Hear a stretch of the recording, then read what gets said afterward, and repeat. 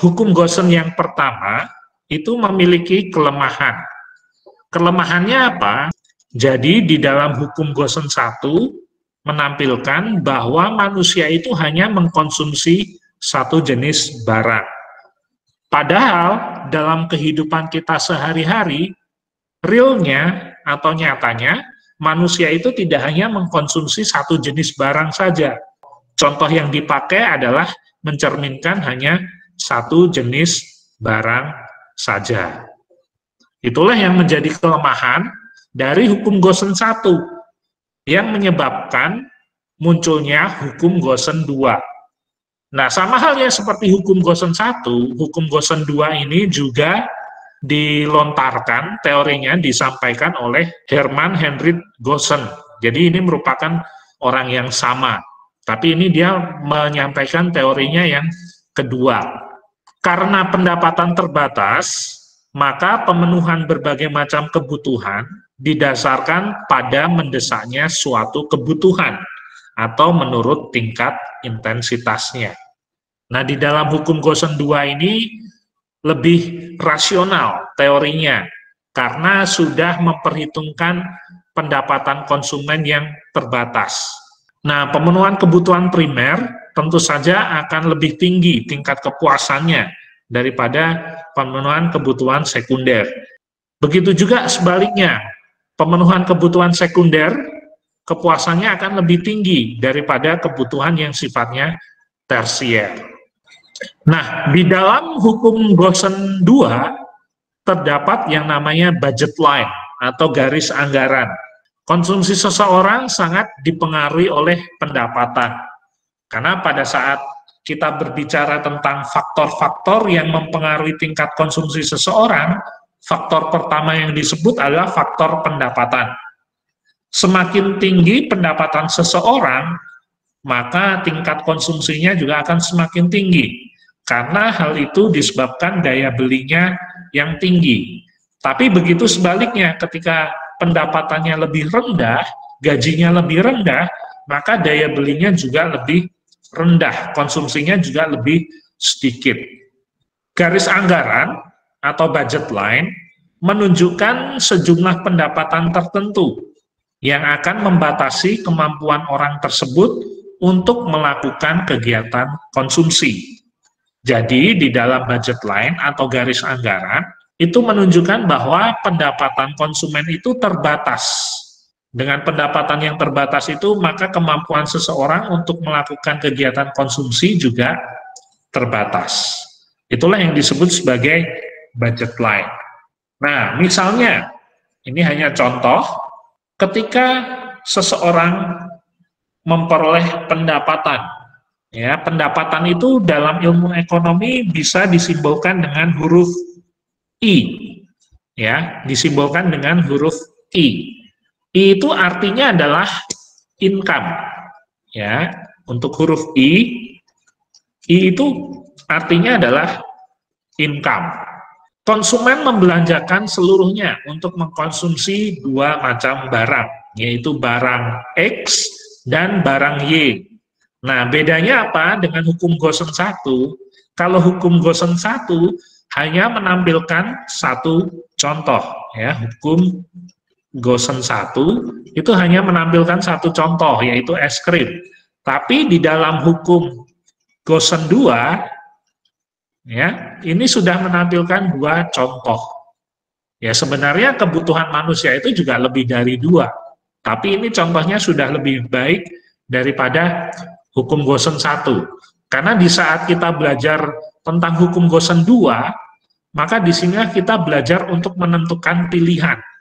Karena ada jenis barang yang satunya lagi. Kalau ini kan kita nggak bisa menentukan pilihan, karena jenis barangnya hanya satu. Nah, ketika konsumen mendapatkan income atau pendapatan, maka konsumen akan membelanjakan seluruhnya untuk mengkonsumsi dua macam barang. Contohnya adalah barang X dan barang Y. Sedangkan harga barang X adalah PX. Ya, harga barang X. Misalnya saya membeli sepatu. Sepatu itu pasti memiliki harga. Nah, sepatu itu saya lambangkan dengan huruf huruf X maka harga sepatu adalah PX. Ya, Pak arti P itu apa? P itu dalam ilmu ekonomi melambangkan price ya atau harga. Ya, harga. PX berarti harga barang X. PY berarti harga barang Y. P itu artinya adalah harga. Nah, maka akan mendapatkan kesimpulan seperti ini. Ya, akan mendapatkan kesimpulan seperti ini. X itu adalah jenis barang, ya, jumlah barang. Misalnya saya membeli membeli misalnya saya membeli 5 buah 5 buah barang X. Nah, harga barang X adalah 100 ditambah saya membeli barang Y, yaitu 6. Harga barang Y adalah misalnya 200. Ya, ini ada tanda titik, artinya kali. Berarti untuk membeli 5 jenis barang X dan 6 jenis barang Y, atau 5, 5 barang X, 6 barang Y, saya perlu butuh pendapatan, yaitu I-nya sebesar ini 500, ini ditambah 1.200. Nah, saya membutuhkan uang 1.700 untuk membeli barang tersebut dengan jumlah 5 dan 6. Ya, pendapatan saya misalnya 1 1.700.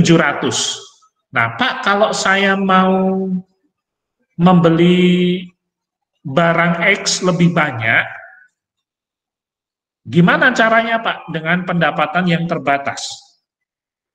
Ketika saya ingin membeli barang X dengan jumlah yang lebih banyak, maka saya harus mengurangi belanja barang Y. Itulah yang dilakukan oleh konsumen untuk memaksimalkan kepuasan dengan pendapatan yang dimiliki. Jadi ini hanya mengandalkan kemampuan konsumen, tidak boleh mengandalkan utang. Ya, karena utang di luar dari konsumen. Seperti itu. Ya, ketika kamu ingin membeli barang X, membeli barang X lebih banyak, maka kamu harus mengurangi pembelian barang Y.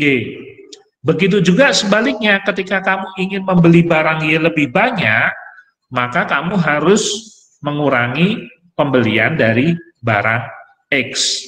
Kenapa harus dilakukan seperti itu? Karena ada yang disebut sebagai budget line.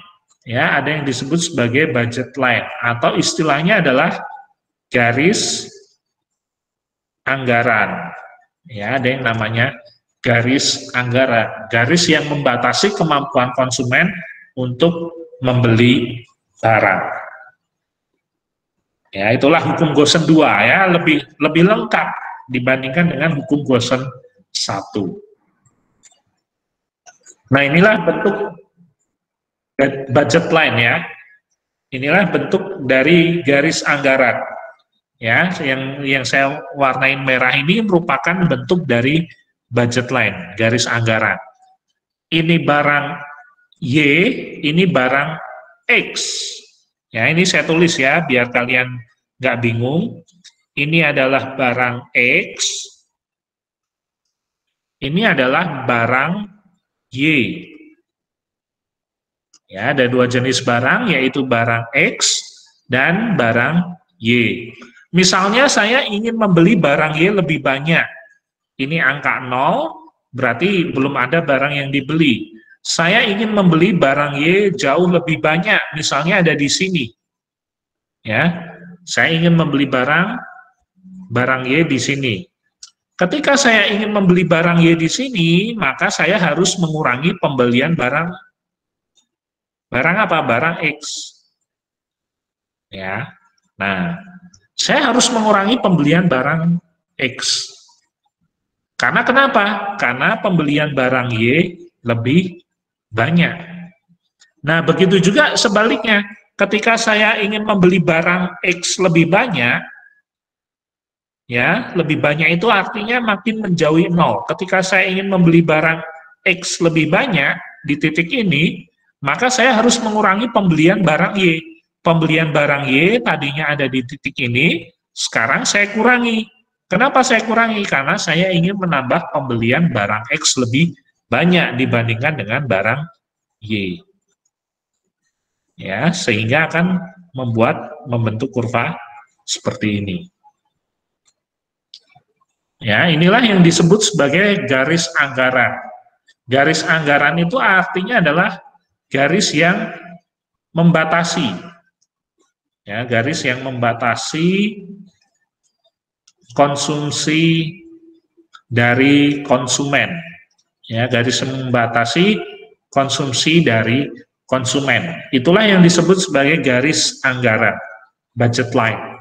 Ya, garis yang menunjukkan tingkat pendapatan konsumen atau kemampuan konsumen untuk membeli barang. Itulah yang disebut garis anggaran atau dinamakan sebagai budget line. Nah, inilah bunyi hukum Bosen yang kedua. Konsumen akan melakukan konsumsi sedemikian rupa sehingga nilai guna marginal setiap barang dan jasa yang dikonsumsi akan sama. Ya, walaupun tadi saya mengkonsumsi barang X dan barang Y, misalnya barang X lebih banyak dan barang Y lebih sedikit, tapi tingkat kepuasan yang saya peroleh adalah sama. Ya, tingkat kepuasan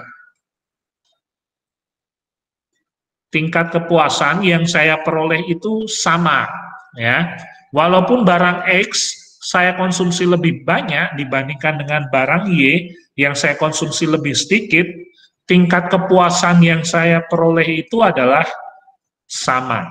Loh Pak kenapa sama?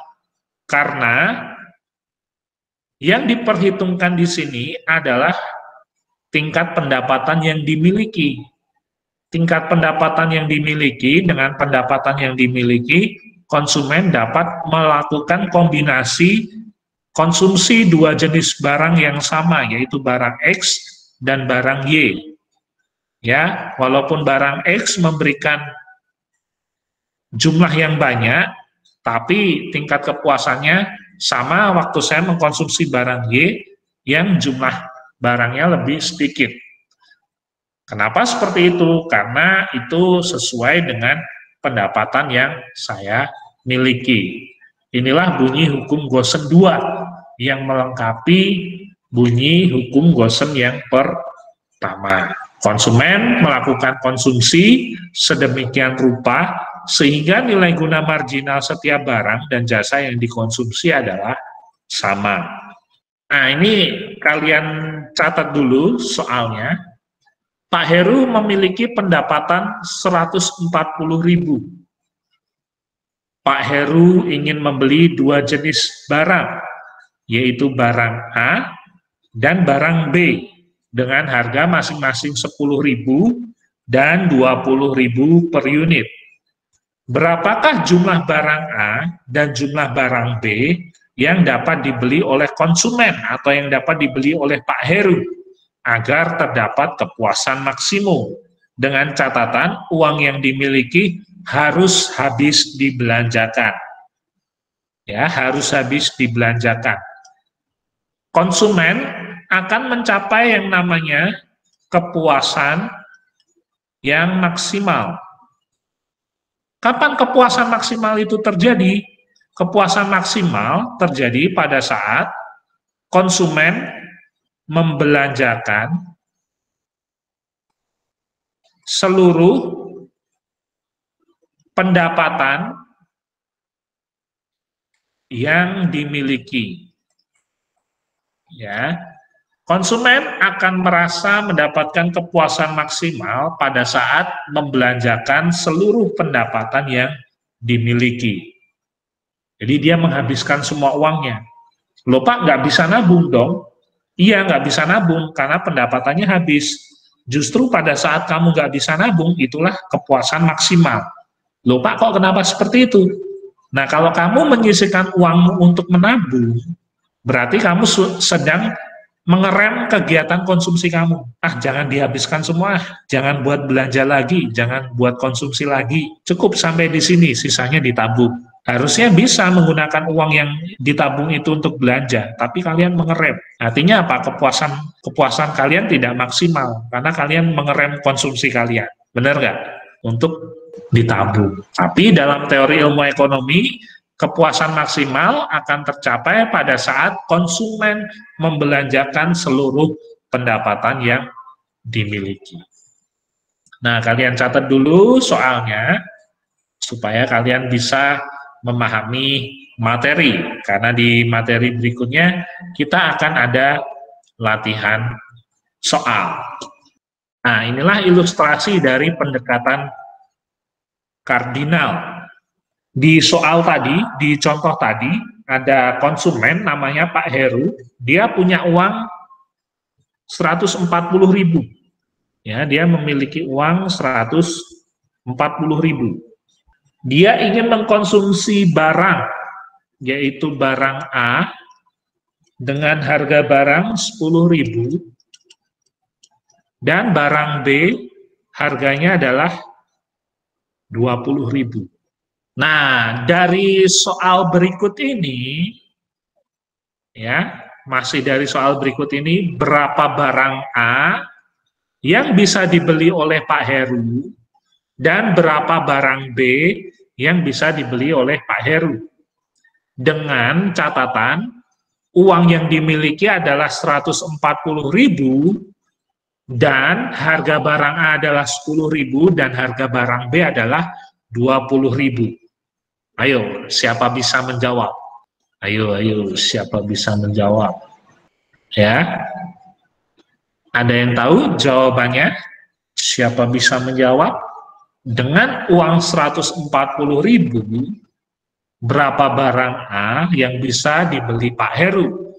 Harga barang A adalah 10.000 berapa barang B yang bisa dibeli Pak Heru dengan biaya barang B harganya adalah 20.000.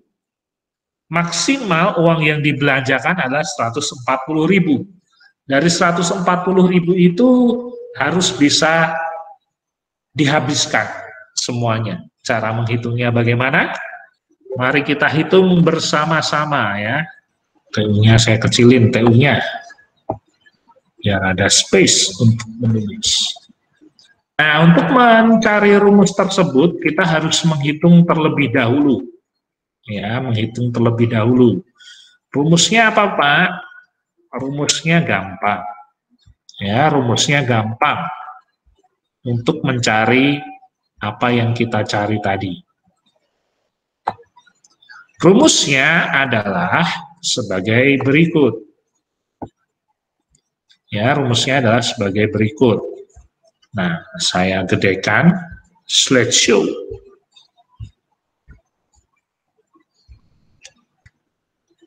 Nah, untuk mendapatkan 140 ribu, ya kan, menghabiskan semuanya untuk belanja barang A dan barang B, kita harus menggunakan rumus sebagai berikut.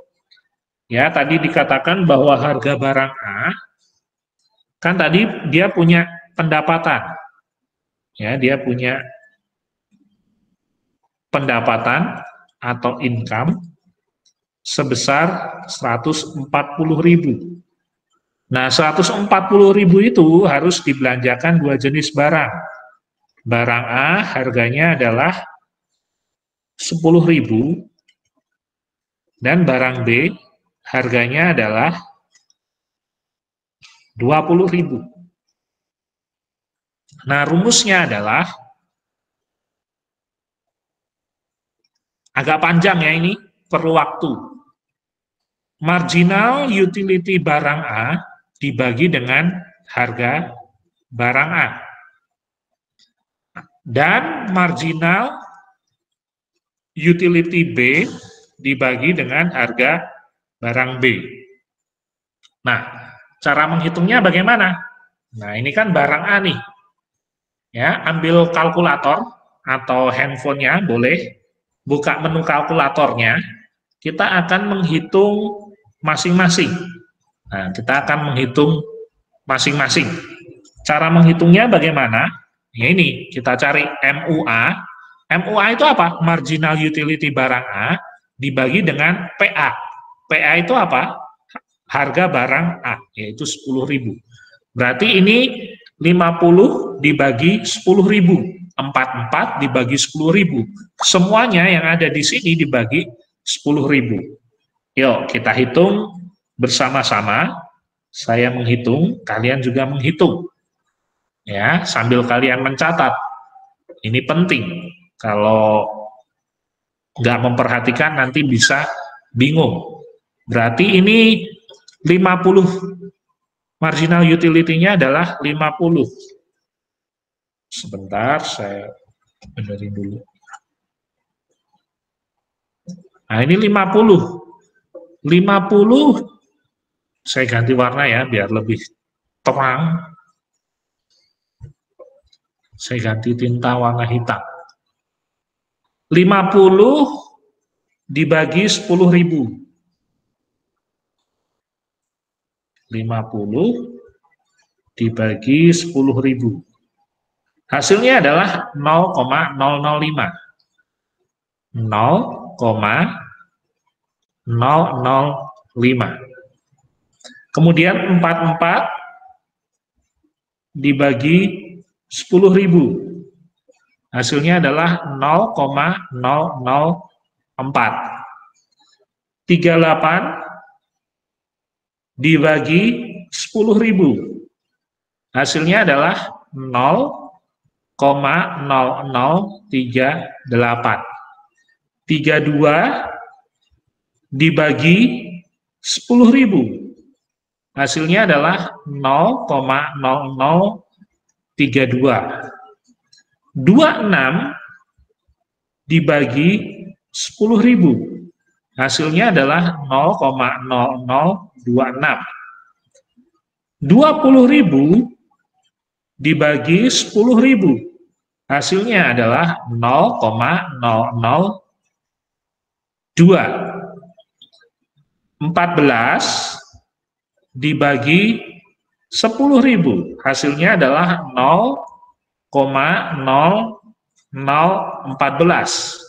Lalu yang terakhir 8 dibagi 10.000. Hasilnya adalah 0,000 lagi 8. Ya, seperti itu. Nah, ini juga sama. Berarti marginal utility-nya dibagi dengan harga barang B. 20.000 ya. 80 80 dibagi 20.000. Hasilnya adalah 0,004. 76 dibagi dengan 20.000. Hasilnya adalah 0,0038. Kemudian 72 dibagi 20.000. Hasilnya adalah 0,0036. 68 dibagi 20.000. Hasilnya adalah 0,0034. 64 dibagi 20.000. Hasilnya adalah 0,0032. Kemudian 60.000 eh maaf 60 dibagi 20.000.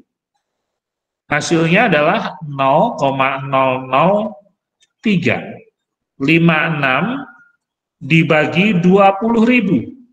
Hasilnya adalah 0,00 28. Yang terakhir 52 dibagi dengan 20.000. Hasilnya adalah 0,0026. Oke, kita sudah selesai menghitung ya rumusnya jangan lupa ya MUA dibagi PA MUB dikali eh dibagi PB MUB dibagi PB. Nah, seperti itu ya. Rumusnya. Oke, dicatat dulu. Saya beri waktu satu menit untuk mencatat. Saya beri waktu satu menit buat mencatat. Ya, pahami baik-baik rumusnya. Nah, itu tahap yang pertama ya, setelah kita membagi MU dengan harganya, ada langkah berikutnya.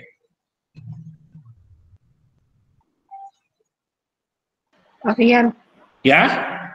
Mau tanya dong, itu, itu yang PA-nya yang di bawah MUA kan PA. PA-nya itu dari 10 PA itu sama 20, ribu sama 20 ribunya bukan?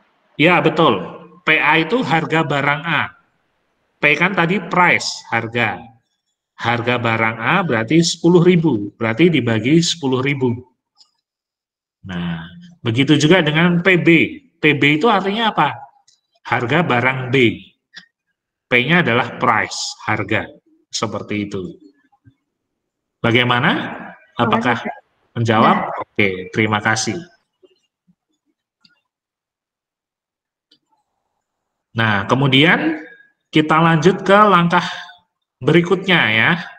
Kita lanjut ke langkah berikutnya. Nah, ini saya hapus dulu. Waduh, ini menghapus semua ya berarti.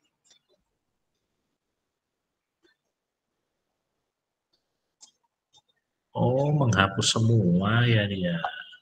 Oh iya, menghapus semua. Gawat, gawat. Nah, berikutnya kita akan mencari poin yang sama. Ya, apa sih Pak maksudnya poin yang sama? Bukan poin ya, nilai yang sama atau angka yang sama.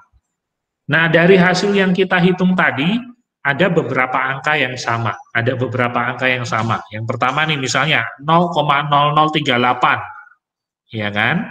Ini di sini juga ada nih yang B ya 0,0038. Kita lingkari nih bagian yang sama. Ya kan? Lalu yang sama lagi adalah 32 0,0032. Di sini juga ada nih Pak 00,32. Ya kan? Sama kan berarti angkanya? Lalu ada yang sama lagi yaitu angka berapa ayo? Ada yang sama lagi nggak kira-kira? Oh ini Pak 0,004 ya. Sama kan ini? 0,004. Sama ini, Pak. Oke. Lalu yang sama lagi mana? 0,0026, ya kan? Nah, 0,0026. Nah, kita sudah ketemu ya angka yang sama. Langkah berikutnya adalah dari angka yang sama ini kita akan jumlahkan barangnya. Ya, kita akan jumlahkan barangnya. Ya, barang A ini angka yang sama adalah angka 2. Ya, angka 2 dengan angka berapa? 0,4 berarti dengan angka 1. Artinya ada kombinasi pertama. Kombinasi pertama adalah dua barang A yang bisa dibeli adalah dua barang A ya dua barang A ditambah dengan barang B yaitu satu barang B kombinasi yang bisa dilakukan ya jangan bingung dulu ya jadi 0,4 kan ada yang sama nih Berarti yang bisa dibeli adalah dua barang A dan ditambah dengan satu barang B. Karena ini kan angkanya yang sama adalah jumlah barangnya pada saat B. Nah, kombinasi yang lain yang bisa dilakukan adalah membeli barang A 3 ya, membeli barang 3A ditambah dengan 3A 0, 38 berarti ada di sini ya 0,038 berarti dua barang B. Ya ini kombinasi yang kedua lalu yang ketiga kombinasi juga bisa dilakukan dengan Yang ini ya, 4 ya, 0,032, 4.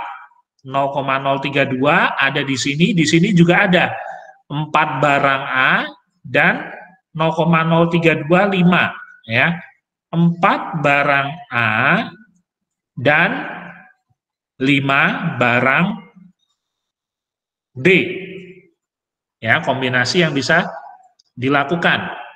Lalu yang terakhir kemudian yang sama lagi adalah 0,026, 0,6 0,0026 berarti 0,026 itu adalah saya tulis di sini maaf nggak cukup 5 barang A ya kan? Barang A-nya 5 0,26 barang B-nya adalah 0,026 di 8 ditambah 8B jadi kita mendapat 4 kombinasi yang bisa kita lakukan nah kalian catat dulu saya foto, nanti akan saya uh, sampaikan ke kalian. Ya, kalian foto dulu atau kalian screenshot ya supaya bisa mencatat dengan cepat. Ya, kalau mau mencatat juga nggak apa-apa, tapi saya foto terlebih dahulu untuk saya bisa lanjut ke slide yang berikutnya. Ada pertanyaan sampai kita menentukan kombinasinya, Pak itu 2A dari mana? Pak 1B dari mana? Ya, kita cari angka yang sama. Kita lihat kan? Tadi kita sudah menemukan angka yang sama ya dari A maupun dari B. Nah, kemudian dari angka yang sama itu kita lihat barang A di angka berapa? 2. Oh, berarti barang A dia kuantitinya 2. Berarti 2A ya kan? Terus barang B, barang B di angka 1, berarti di 1 B. Seperti itu. Ya, saya lanjut ke slide berikutnya. Saya lanjut ke slide berikutnya. Di slide berikutnya saya akan kembalikan menuliskan kombinasi yang bisa kita dapatkan. Nah, kombinasinya kan tadi kita adalah dua barang A. Ya, dua barang A.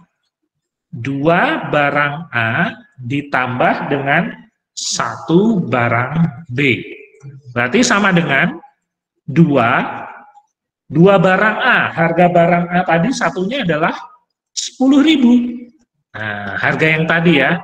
Lalu barang B tadi harganya adalah 20.000. Berarti ditambah satu kalikan 20.000. Nah, hasilnya berapa nih? 20.000 ditambah 20 ini kan 2 kali 10, 20 ribu. 1 kali 20, 20 ribu.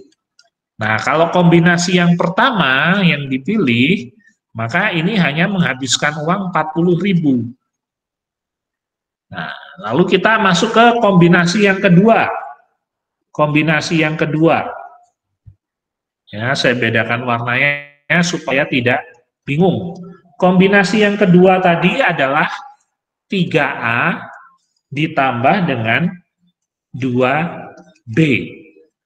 3A berarti 3 kali 10.000 ditambah 2 kali barang B. Barang B satunya 20.000. Berarti di sini 30.000 ditambah 40.000. Hasilnya adalah 70.000. Ya. Lalu yang ketiga, kita ambil kombinasi yang ketiga. Kita ambil kombinasi yang ketiga. Kombinasi yang ketiga adalah 4A ditambah dengan 5B.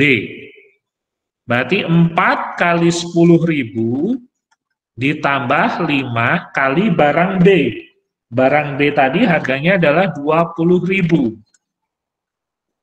Nah, hasilnya berapa? Ini hasilnya adalah 40.000 ditambah 100 ribu. Maka hasilnya adalah 140 ribu. Lalu kombinasi yang keempat, kombinasi yang terakhir. Nah, kombinasi yang terakhir, saya pakai warna yang biru. Yang keempat adalah 5A ditambah dengan 8B. 5 kali 10 ribu ditambah 8 kali 20 ribu.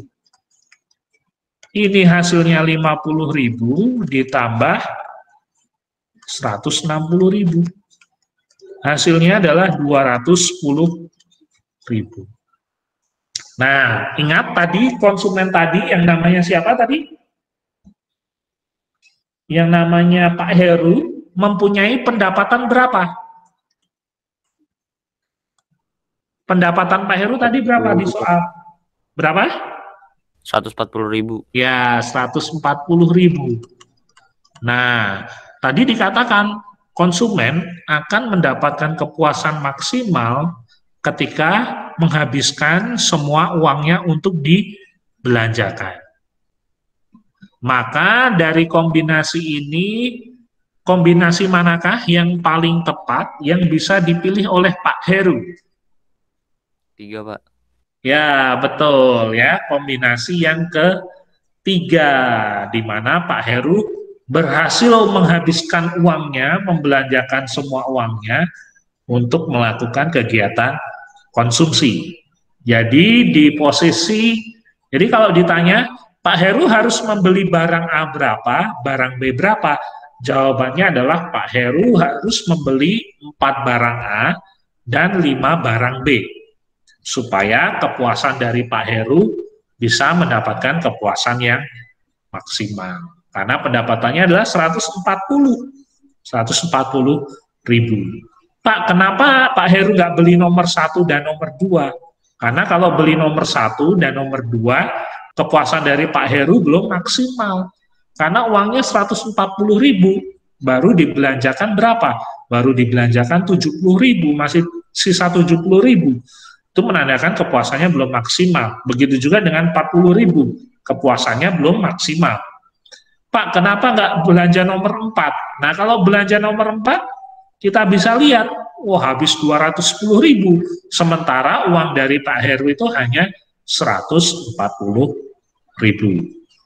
Ya, demikianlah yang dimaksud dengan hukum Gosen 2, ya, melakukan kombinasi berbagai jenis macam barang, yaitu dua jenis barang, tapi mendapatkan kepuasan yang sama atau kepuasan yang maksimal.